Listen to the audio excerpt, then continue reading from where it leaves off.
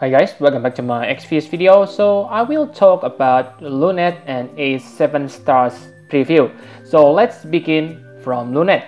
So Luneth STMR is a cloth.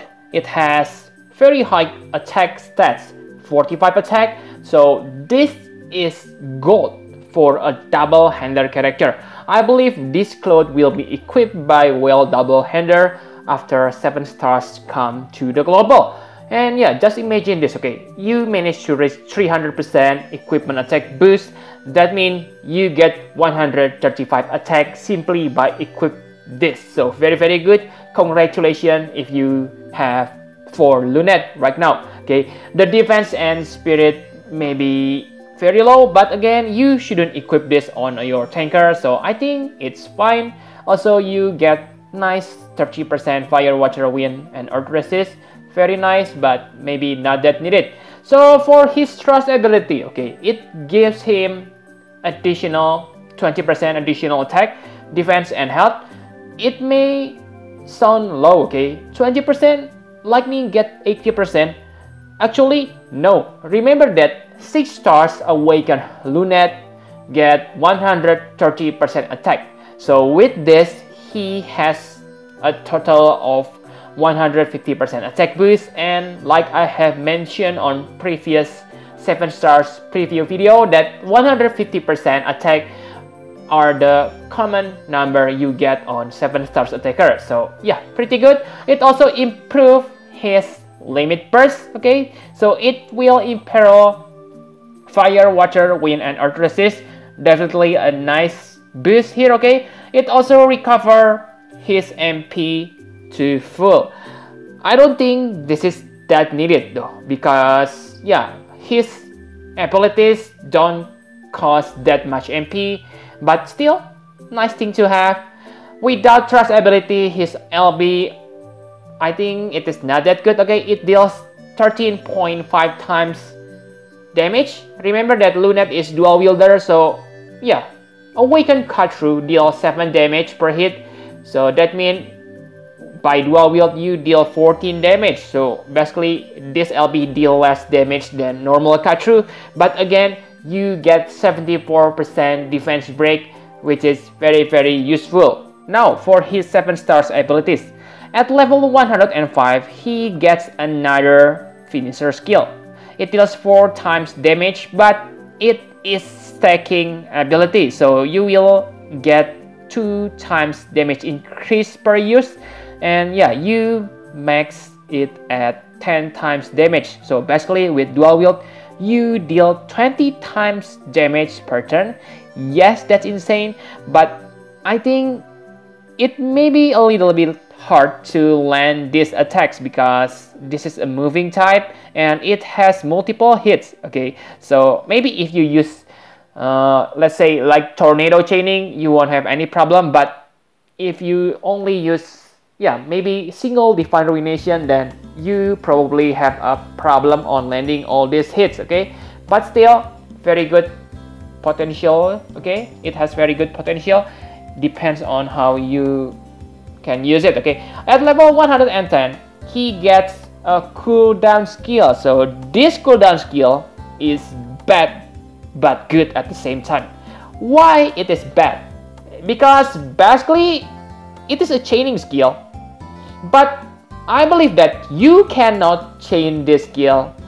I'm not sure okay actually I'm not sure. But yeah I think you cannot chain this skill with anyone. But if you have mm, let's say yeah two let's say you have four Luneth okay you make two seven stars Luneth then basically you just get one of the best chaining skills in the game okay? So just take a look on Felix Santoso video. Okay, he has a video about this.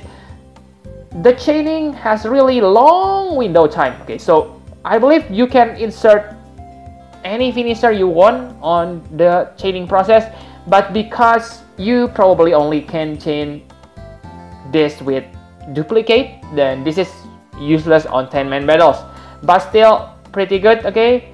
But remember this is cooldown skill, so you cannot use this every turn and this is not available on the first turn so maybe not that good on raid battle okay so at level 115 he gets 20% spirit. Not that good okay? It is just random stats i believe okay? And on the maximum level like other dual wielder attackers on 7 stars he gets 30% attack from equipment when dual wielding. So it is true dual wield okay? A new thing he gets it so very good. And yeah he gained 2 lb regen per turn. So yeah his lb may be quite nice because that defense and elemental imperil okay? So pretty nice characters but to make him reach potential you really need to have a friend who has Luneth or bring your second Luneth okay? So yep i think pretty good. No need to be salty. He is definitely not a troll on 7 stars form so let's talk about the second character 7 stars ace. So his stmr is throwing weapon. It has good magic okay 169 but i think this weapon is very niche. Like you know that mage usually equip rod okay? So yeah some mage able to equip throwing weapon but that means you won't be able to take the advantage of your rod mastery dark bond and other magic boosting abilities. So yeah this your this can work for some characters. For example like veritas and also you will learn later that you need throwing weapon to max out ace okay? So his trust ability he gets 50% magic and yeah that's definitely good. And it enhances his LB so it breaks enemy spirit. So definitely a good thing too okay but the most important update is the increased damage to your tri, tri beam laser so normal Awaken Tri-Beam Laser plus 2, okay? Tri-Beam Laser plus 2 uh, has, yeah, the lowest damage is 2.8 times, okay? So with this, you will deal 9.3 times damage. So pretty nice, especially it also break the elemental resist. So yeah, it is very good ability. But again, I don't think he is that good on 7 stars, you will learn that later. So his normal LB, it is basically only single target. Yeah, without his trust ability, I don't think this LB worth to be used because like you can see that it only deals 16 times damage. Yes, that's nice, I know, okay, because his tri-beam laser not affected by dual wield, but again, he is not that good compared to other 7 stars mages. So for his abilities, let me be honest here, I don't like it at all. On the level 105, he gets another random ability, okay? So it gives you damage mitigation and defense and spirit buff. But I think the highest the highest chance gives you 20% damage mitigation and that's below average 20% and only 80% defense and spirit. Okay, so I don't think that's good. Okay, I know that it can give you 40% damage mitigation, which is higher than average, but that's only 10%, so I doubt it will happen. Okay, so it's kind of like um, Olan, but I think Olan Nameless Song is much much better because it has a chance to give you uh, auto life buff. Also, why they need to be so stingy with the chains? Cannot they make the chains uh, become 33, 33, and 33 percent? Because really, guys, it won't make him OP or anything imbalanced on this game. Okay, with this buff, you can still die pretty easily on hard metal, but really with this, by making the chance only 10% for the highest buff make him really kind of broken in my opinion. So I don't like it. I'm not fan of 7 stars Ace.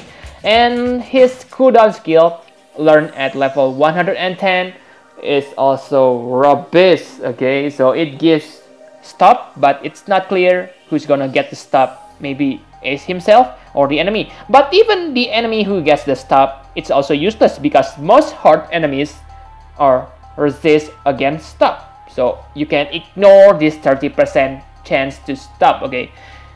And it gives you health and MP recovery. Yeah, I know that's nice, okay, but again, it is a random skill and 50% chance effect only 45 MP and 40% health, which is low.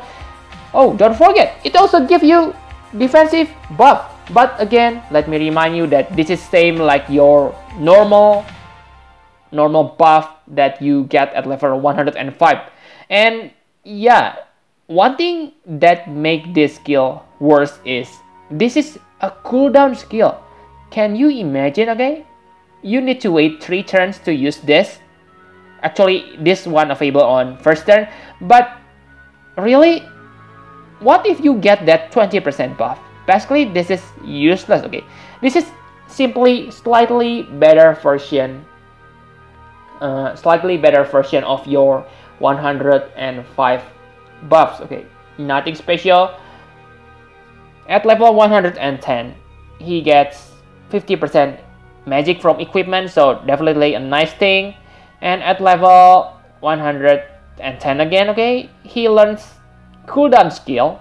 It gives him yeah KO it will make him go suicide.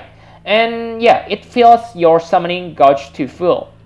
So for info for you guys is all 7 stars Final Fantasy Type 0 characters have this ability. So this means Queen 7 stars also has this I cannot say this is useless okay because let's say you use Summoner then this ability may be useful especially combined with Auto Life and at level 115, he gets another 20% defense, which is kind of random. But the most rubbish thing is at level 120.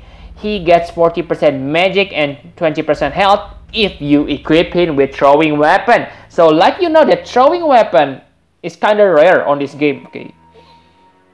So basically, this is say that this the, the developer said that you need to get his Trustmask STMR for him okay, to get this.